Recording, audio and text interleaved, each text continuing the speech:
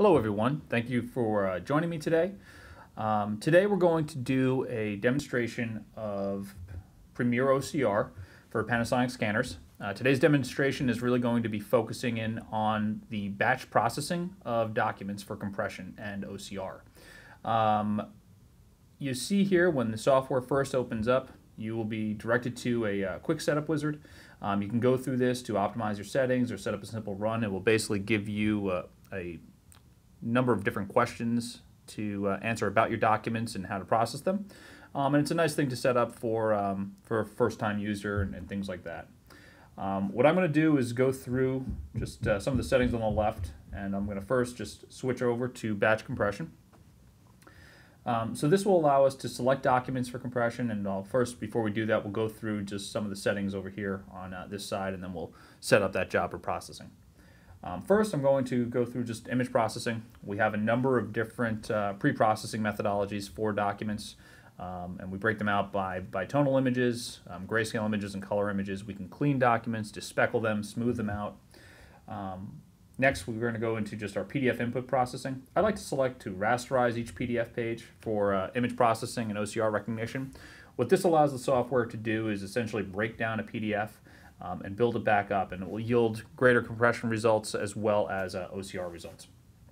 We have the ability to, uh, to crop images, deskew and rotate images. Uh, one of the things I like to do here is um, automatically rotate all the pages to their readable orientation. Um, this way, if someone scans something in uh, previously upside down or anything like that, um, we'll automatically rotate that to, uh, to be in its readable orientation. Also have the ability to uh, invert color, so this will convert black to white and white to black. Uh, sometimes it's used in the medical space for X-rays and also for sometimes for um, for microfilm conversions. I have a number of different output options. I usually just let the software auto-select it, um, but we do have PDFA available if that is something that um, that uh, is required. We can merge and split documents here. Uh, we have a number of different uh, compression settings depending on the actual image type. Um, so you can see here we have different filters for bitonal, uh, grayscale, and color documents. Uh, on recognition, I've selected to include OCR. Um, I almost always will go with the accurate analysis mode. Um, the only time that I recommend to users to really look at the super accurate analysis mode is if they're dealing with a severely degraded image, um, something that's been faxed multiple times and then scanned in, um, or something that might have um, multi-directional text in there. You might want to test that out.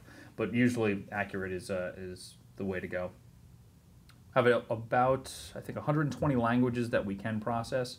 Um, you can see a lot of them are listed out here.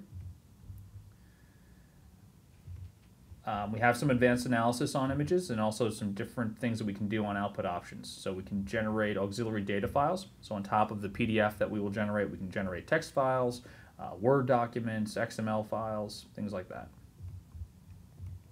On communications, we have the ability to pull documents down from uh, FTP sites and put them back up there. A variety of doc document features can be added to documents. Um, by default, we will optimize files for the web. So what this allows is basically um, page at a time display for any document that is uploaded onto a website or an intranet site. Um, so if someone uploads a 50-page document that is web optimized, they won't have to wait for that entire 50-page document to download. They can view page one instantly. Um, document info can be added to documents here, such as author, title of documents, things like that. Metadata can be added as well, and viewer preferences can be uh, inserted here as well. Annotations are also things that can be added to documents using the software. Um, you have the ability to add a variety of different uh, headers, footers, uh, stamps, and watermarks. Um, some of the common headers and footers include a date stamp, a page number, Bates stamp, or even some custom text. Also have the ability on the security side to um, enter in passwords for any documents that already have a uh, password and be able to process them, and also add uh, password protection to output documents as well. All right, now I'm going to go ahead and just set up the uh, a batch to run here. So let me just quickly select my files. And I'm just going to just drag and drop this right down here. Okay, um, so you can see here, um, we've already set up the folders. I'm going to just select a separate output folder to put this into.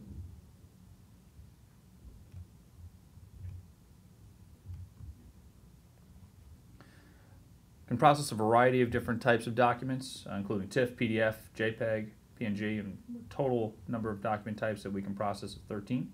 But I've just selected those four for now. Um, I'm going to leave the process input files in their existing location, but you can delete them or move them to a new location.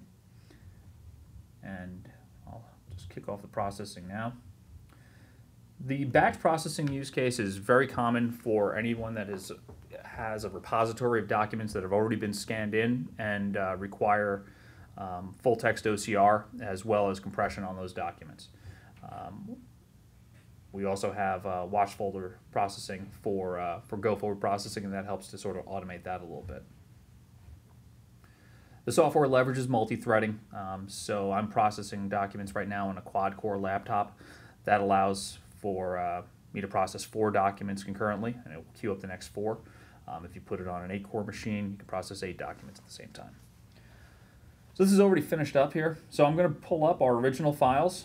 You can see them right here. I have uh, three JPEGs and a few different uh, TIFF files, and these are the output files here.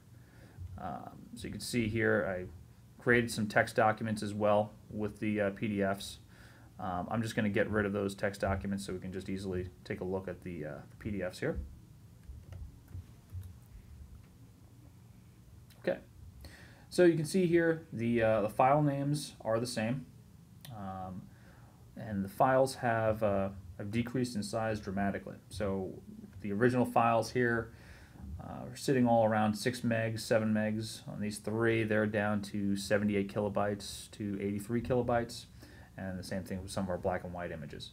Um, take a look at just some of the sample images here. You can see this is just a magazine clipping that was about 6 megs and it is now down to uh, a few kilobytes. You can see it's very clear document, has not been degraded at all. It's also uh, fully text searchable, so I can highlight here on all of the text. I can also just search within here, within here as well.